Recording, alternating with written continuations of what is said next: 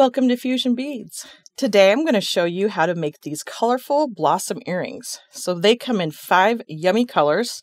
I have a royal red DeLite.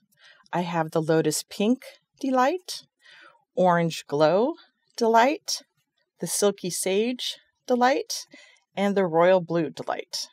So these all feature the DeLite crystal Rivolis, and then they also feature the 3 millimeter shimmer and shimmer two times Swarovski crystal bicone beads, and then two sizes of seed beads. So let's take a look at all the products and tools we'll need to make them.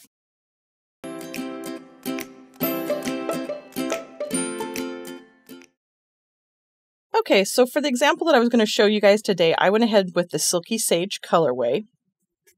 So for this project, I will be using size 15 teal lined crystal AB Japanese seed beads. I have size 11 metallic galvanized silver delica beads. I have a 14 millimeter silky sage DeLite Swarovski crystal Rivoli. I have 3 millimeter Erinite shimmer two times Swarovski crystal bicone beads. I have a 14 millimeter sterling silver French ear wire and then I have the six pound black satin fireline beading thread. For our tools today, we will just need tulip needles size 11, my chain nose pliers, and then I have my Xuron thread and fiber scissors. So I'm going to get set up and we'll get started. Okay, so to get started, I went ahead and I threaded a needle with about six feet of beading thread. I have a little bit shorter length just for the ease of this video, but about six feet is what you're going to need. And we're going to, to do our first round, first rounds one and two, you need to string on 36 beads. So I've already got on here 34. I just kind of wrap the thread around my fingers there just to kind of provide a stop. So I'm just going to pick up two more beads for a total of 36 it's important that you make sure that um, you have the exact number because this um, size will fit around that bezel. So I always, once I string my beads, I double count them again just to be sure because once you start make doing the peyote bezel, if you are an off a bead and it's like only 35, your bezel will not come, will not work out. So it definitely needs to be an even number and it'll be 36. So you're going to go ahead and take the two ends and you're just going to tie an overhand knot to bring your tail thread and your working thread together to create a ring. So I bring them, just bring it down here. And I always like to do like a second knot just to make sure that it's really going to hold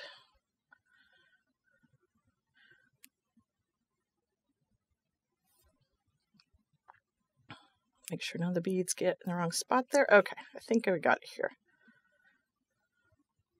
So it doesn't have to be like super, super tight because you're going to go back through all those beads. But it's nice to have a knot there to kind of give us a starting point. There we go. All right.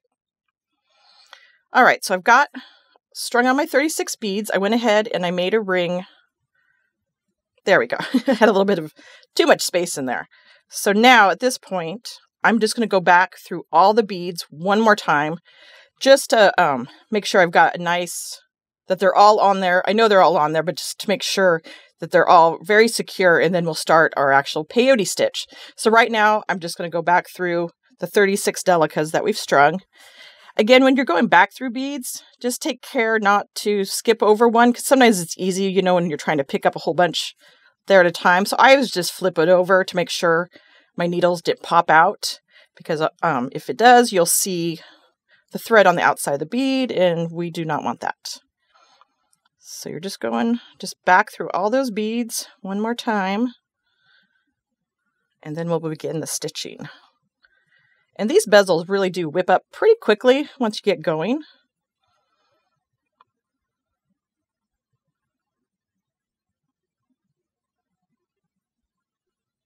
Again, just make sure you're getting through all the beads there.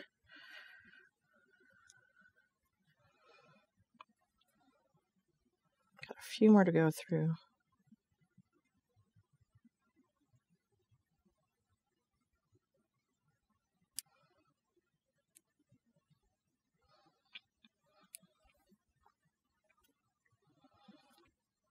All right. So then I always go through those last few beads, and then I pass over one so that I'm not at that where they have the knot. You're just going in that next bead. Then that way it um, closes that if there's any bit of a gap there or anything. I think my tail, yeah, there we go. I'm just to get that out of the way. All right. So now I've gone through all my beads at least a second time, and then I just went through the first bead one more time.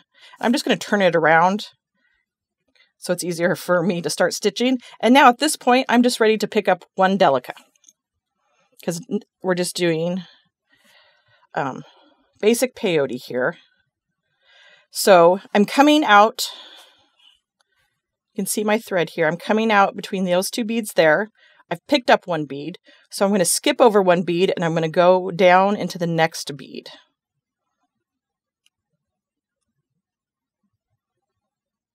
And come up, so you can see that. And then I'm just going to put up my finger on there and pull everything down, and then I'll show you where that bead will kind of seat up there. So then, a little tighter. All right, so then you can see it's like I just started our little peyote. So then I pick up another bead because you're coming out this bead. You're always you always um, skip over one bead. So you're coming out this bead, skip over the next bead, and then go down through the next bead, pulling everything down nice and tight so that it locks into place. And see, you can just barely see that peyote stitch just starting to go. So we're going to do this until we um, get all the way around the bezel. This is going to be, this is our third round because you strung rounds one and two earlier. So you'll be adding 18 beads. Just making sure you're always um, skipping over one when you're adding one.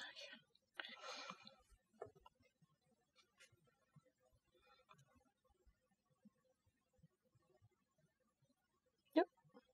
All right.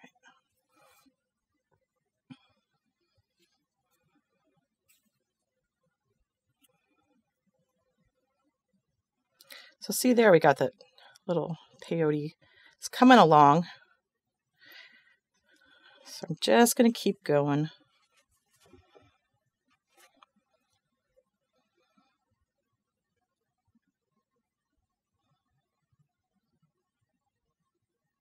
Again, just making sure you're always skipping over one bead when you're adding one in there.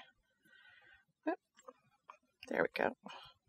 Make sure you're pulling everything nice and tight. You want them to to seat up like that so they're on top of each other. If they're not, you need to kind of massage them into place. Sometimes the first couple, you need to kind of like pop into place there a little bit. But most of the time after you have a couple of a couple of stitches, then it just seats right up. So so you're just going to continue to go all the way around until you've added 18 delicas.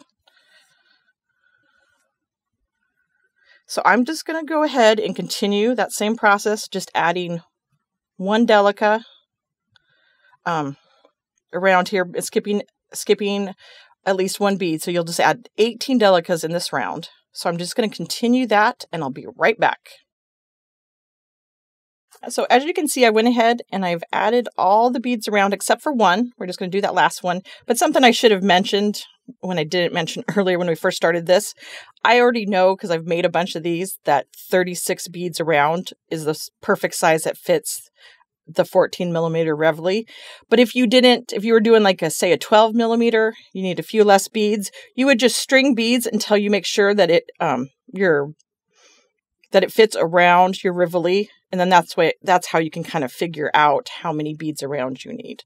So I knew I already knew I needed 36 from doing it, so I've got those on there. I've done my um, third round of peyote. I just have one more bead of the delicas in this third round to do. Just wanted to show you that one more time. So this is my last one coming out, that bead there, and then skipping one and going into the next bead. This will complete the third round three. And got a little bit of a knot there. Let's see if I can pull it through. Ah, we did. Whew. All right. You can always condition your thread too. I didn't this time, but sometimes I do. It just kind of depends on how I'm how I'm feeling about it. All right, so I've completed my third round here. And now I'm ready to do my fourth round. And in this round, we're going to start kind of bringing the end, bringing the sides in together to um, go around the bezel. So we'll be working on the 15s.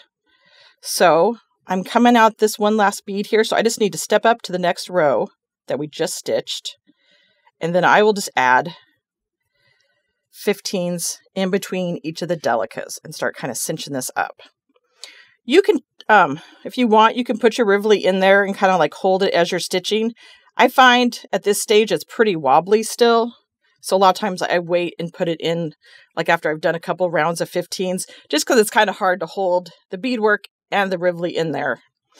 So finished our third round. Now we're ready to start our fourth round, which is going to be the size 15s. So in the same way that we did the third round, we're just going to add one bead in between each. But instead of having to pop down, they're already popped up. So this, at this point, makes it super easy because we already know, like, we're just going to bridge two right there. So you come out this bead, add a 15, and then go into the bead right next to it.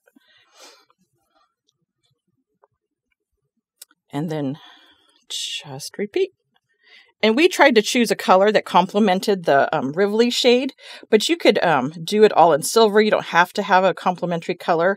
It's just kind of fun as it comes down around the um, the Rivoli.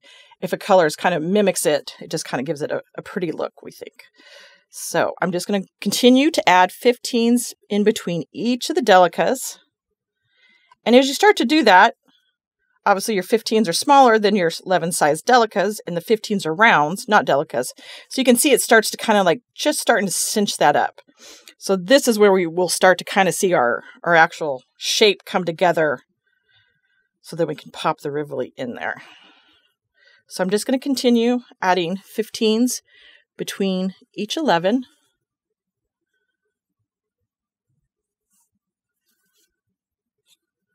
until I've gone all the way around. And then just making sure you're pulling everything nice and tight. And you can see how it's starting to curve there.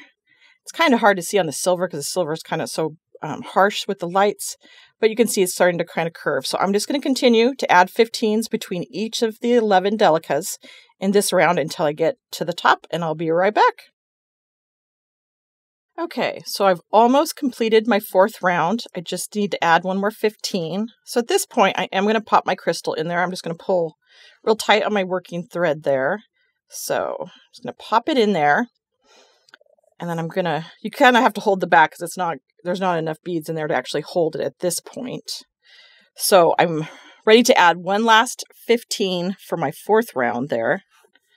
Just in between those 11s there coming out of one and going right into the next. And then you're also going to go th- through that next 15 there because you're stepping up for the next round. And then we'll do one more round of 15s. And this is where it really starts to like cinch around. And as you can see, it like kind of pops out. So I just pop it back in there. And so now I'm ready to do the next round. The next round is just another round of 15s. So this will be the last round on this side. So we're just working on that last little section here. So this one, you um, you're going through a 15. It's really hard to see. You're going through this 15. You're coming out of it, and then you're going into the next 15. At this point, you shouldn't be going through any delicas because we've already added all of those for that round. So now we're just doing the next round. And see, it is kind of fiddly, so I'm just going to drop that crystal because it kind of is annoying to try to hold it in place. All right. So coming out that 15, going into the next one.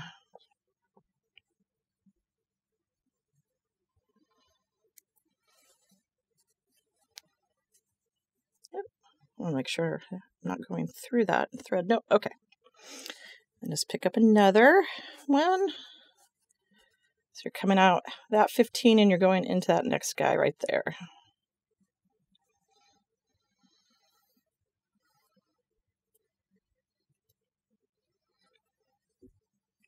few more. But I think you guys get the point. You know, always going to be coming out of a 15 and going into the next 15 for this round. And then this will be the last round, like I said, on the front here.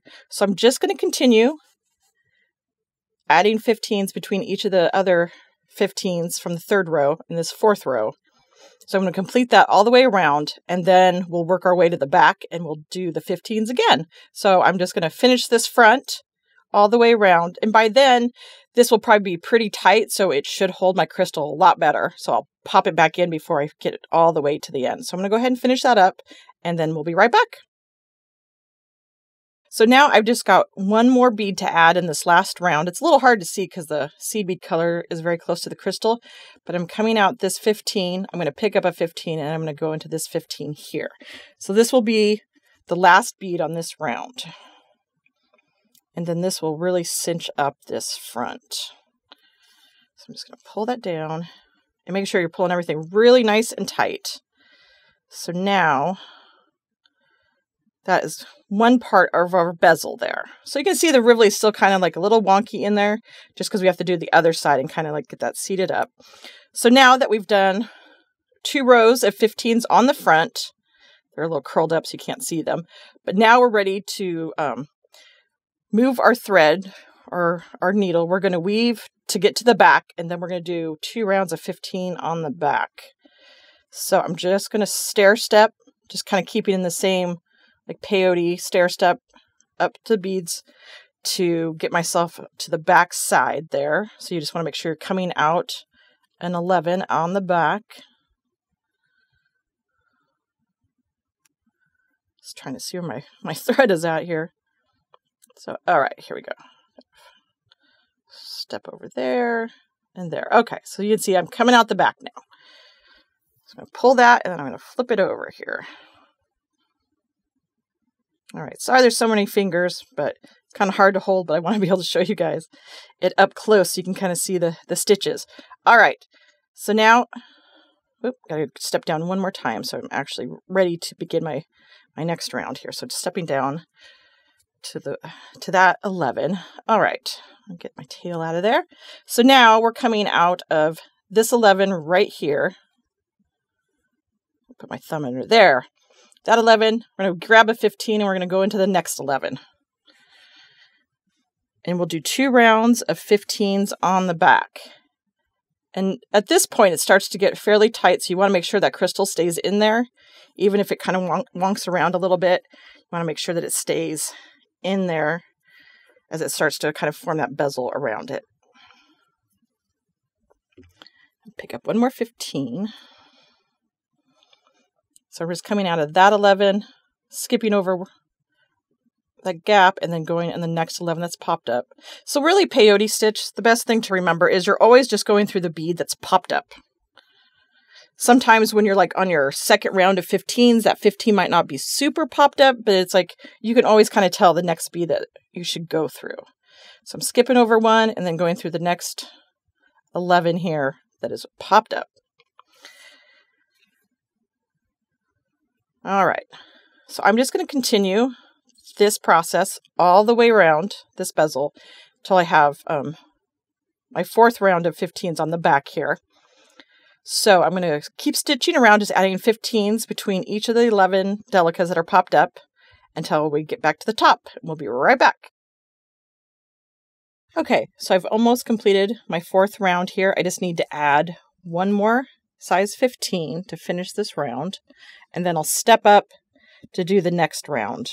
So I'm going to go through that 11, and then I'm going to go through the next 15 that's popped up there to step up to that next round. So you can see that bead right there. So I'm stepping up, and this will be my last round here on the back. Again, just make sure you're pulling everything nice and tight. And you'll notice that even mine is still kind of loose because we always have to go back and kind of reinforce it, and that will help tighten it up. So don't be nervous if yours is kind of loose and like you're having a hard time holding the crystal in. It's just kind of the nature of this design that sometimes it's a little a little wobbly until you reinforce the heck out of it. So now that I'm stepped up, I'm ready to begin my fifth row here on the back, or I guess I'd be the fifth, sixth, seventh, seventh row if we're just counting them all together, but I just kind of go back and front. So our last row on the back, I'm just adding the 15s between every 15 that's popped up. Just doing basic peyote here. And I'm just going to do that until I get all the way around. Sorry, went a little off camera. Again, just adding a 15 between each of the 15s that are popped up.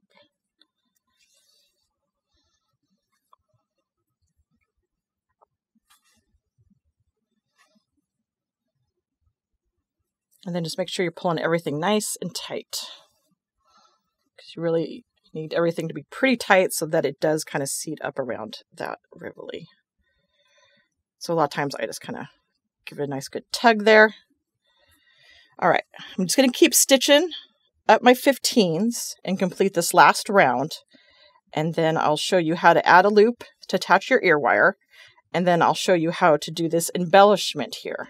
So if you were just going to do like a basic peyote and you didn't want the, the bicone edges, after I finish this round and reinforce, we would just stop. But we want to add these little bicones for a little picot. So I'm just going to keep doing this last round, adding 15s between every 15 here, and then I'll be right back. Okay, so I went ahead and I completed my last round on the back here. So now you can see it's pretty well seated up here, but um, I always recommend just going at least back through the 15s just one more time, and then that will help really kind of cinch up that little, the fold that covers your Rivoli. So this is obviously is our back, and this is our front. And if you get it on there and like more is covered on one side, you can always just kind of move your bezel around because you can kind of see it moves just ever so slightly. So do make sure, you know, take care and make sure it's like nice and centered over your crystal. So now at this point, I'm just ready to step up.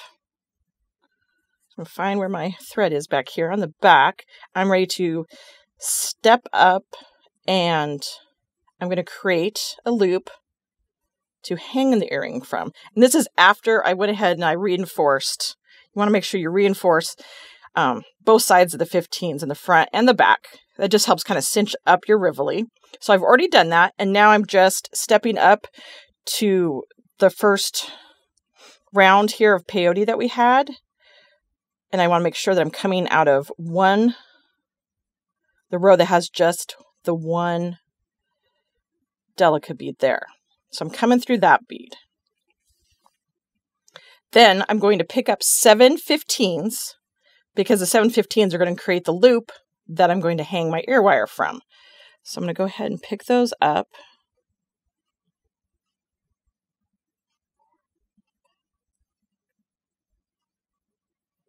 Seven. So I have seven. You're going to bring those down. And then you do you want to go back through the first bead that you just strung. So you want to go back through your first one to create a loop, making sure not to go through the other ones because we want the loop to come around. So I'm coming, I picked up that 15. I'm coming out this 11 and then I'm going to go over to the next single 11 in that one of the first rounds that we did there. I'm just going to pull that down. And this will create our loop. Let's pull it really tight, and then that creates our little loop that we're going to hang our ear wire from and stuff. So at this point, um, we need to reinforce this. But what I found was easiest with these earrings is that I went ahead and I created my loop first. Then I did all the picot all the way around. And then I went through that loop one more time to reinforce, and then I um, weaved off my thread and trimmed it. So I found that that just worked easier. You could go ahead and do a turnaround to get back in the correct direction to reinforce from this way, but it was easier to start with it, do all your picot, and then go th- back through it one more time instead of having to try to turn around. So now at this point, I'm ready to start my picot. So this is kind of where the fun part comes in. Um, we're going to do a picot where we add um, one three millimeter bicone and um, one size 15 on there. So if you wanted just a very traditional, the bare bones, like minimum bezel, this is where you would stop. You would go ahead and create your loop, then you'd want to go back and um, reinforce that, and then you would weave off your thread and trim. And this is just a very simple peyote bezel. But we wanted to take it to the next level with a little bit of picot. So we're going to go ahead and pick up a 3 mil bicone and a size 15. I'm just going to bring those down here. All right. So then I want to go back through just the bicone because we want that little that little seed bead just to kind of sit there on the edge of that bicone to create a cute little picot. So you don't want to go back through the 15 or it will just pop off, obviously. So we're going back down through that bicone and we're coming out of this single 11 right there and you're going to go into the next single 11. So you're always kind of like stitching over or your beads are going to sit over those where it's um, has the two. Your beads will kind of sit right over those two delicas right there. And then you just pull that baby tight, really nice and tight because you want to have that guy seat up there and they'll pop out. And then you have this cute little picot. So I'm just going to do a couple more.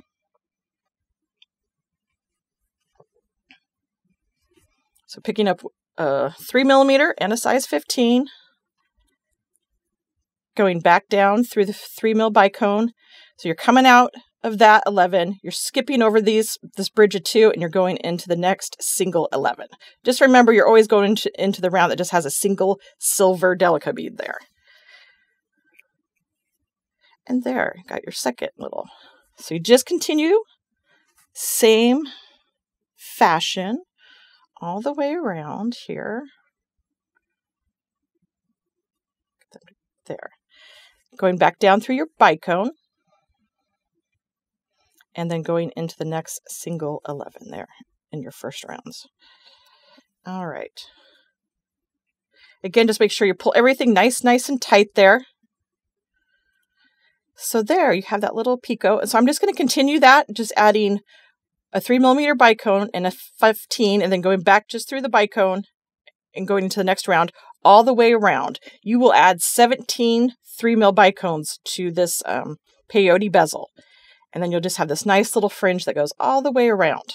So I'm going to go ahead and continue adding one 3 mil bicone and one size 15, bringing everything down and then going back through just the bicone and then going into the next single 11. And just make sure when you're going back through these that you're only going through the one bead and it doesn't start to go out through another bead. All right. Oh, it's got a little stuck in there. There we go. All right.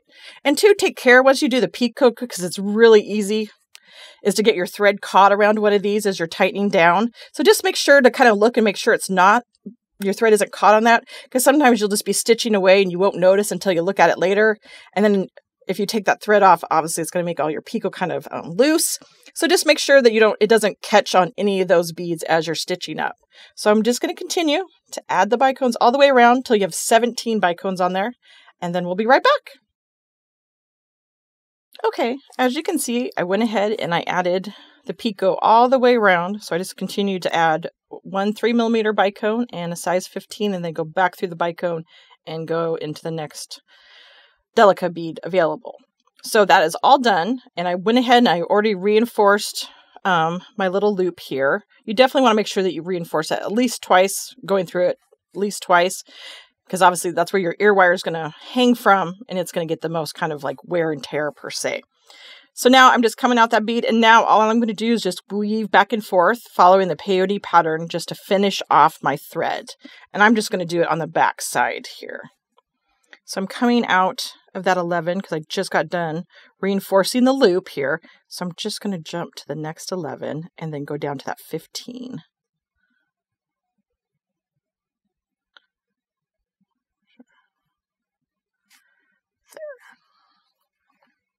Again, taking care to make sure my loop doesn't get wrapped around anything. And I'm just going to go back and forth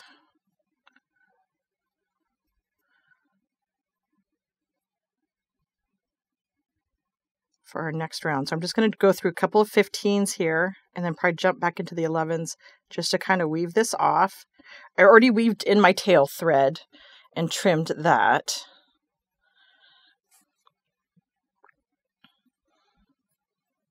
And you can go back through and weave um, around as much as you want.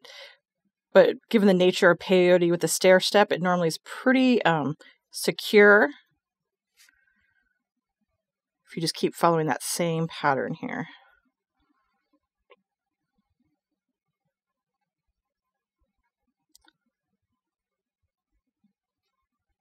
Get through that. Okay. So again, I would just continue just to weave down through there. It's really hard to kind of see at this point because there's so much stuff going on, but just weave back and through on your pattern. And then once you're done, you want to just go ahead and trim your, your working thread as close to the beadwork as possible. You can also use a thread burner if you like. So now it's like my little guy is all pretty much done. All I need to do is to add my ear wire. So to do that, I'm going to take my chain nose pliers and you're going to open the ear wire by grabbing the side there that has an opening and just pulling one side towards you. Then you're just going to slide that loop on to the loop that you made with the seed beads onto this ear wire. And then you'll close the ear wire just by moving it back to its original position. And then I always just look in the front, make sure it's nice and straight and everything. And there you have these really cute little silky sage earrings.